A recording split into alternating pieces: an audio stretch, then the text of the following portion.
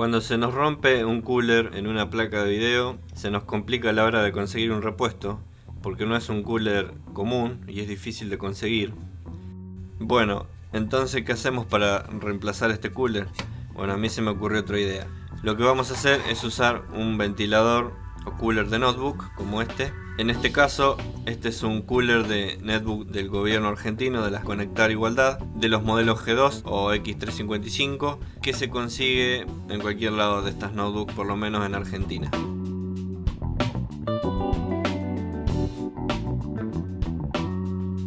Si tienen un cooler de Netbook G2 o X355, los cables que hay que usar son el rojo y el negro. Pero si tienen otro cooler, van a tener que probar si sirve y cuáles son los cables. En algunos cooler hace falta una señal de control para que funcione, por eso no todos los coolers sirven.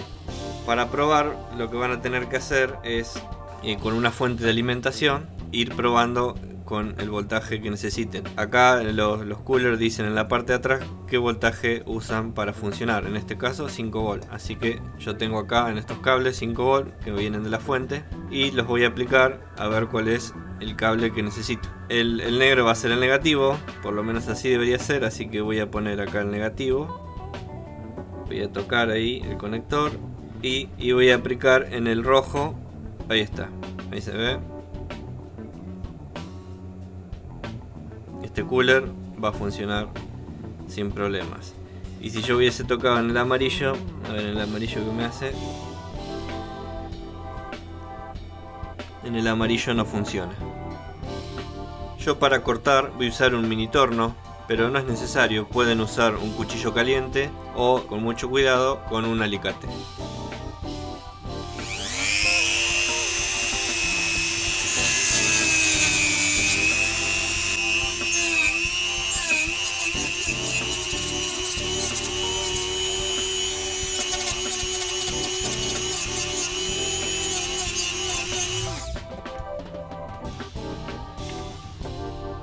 Aprovechamos que no tenemos la carcasa y vamos a limpiarlo también.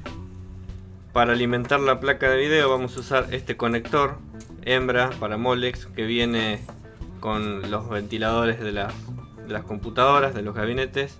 Solamente vamos a usar eh, los cables finos estos y estos cuatro con este conector macho lo vamos a sacar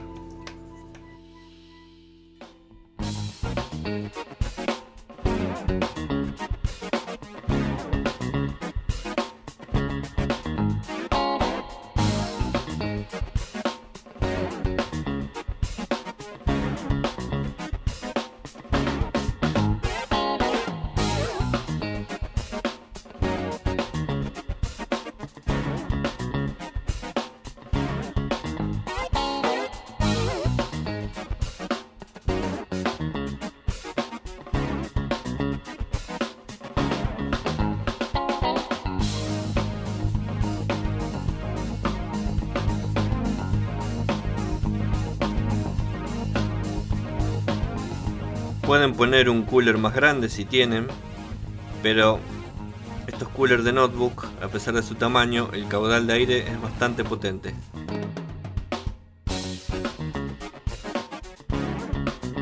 Bueno, ahí quedaría. Ahora hay que limpiar muy bien acá para poder pegar. Ahora entonces lo que tengo que hacer es fijar el cooler al disipador y para eso lo que puedo hacer es pegarlo. Si están en Argentina, acá se consigue un pegamento por todos lados que se llama Fastic. Ese va a servir en este caso para esta placa de video que no calienta demasiado. Pero si pueden usar el Fastic para altas temperaturas, mejor, es un Fastic de color rojo. Lo pueden conseguir en un kiosco o el de alta temperatura en una ferretería.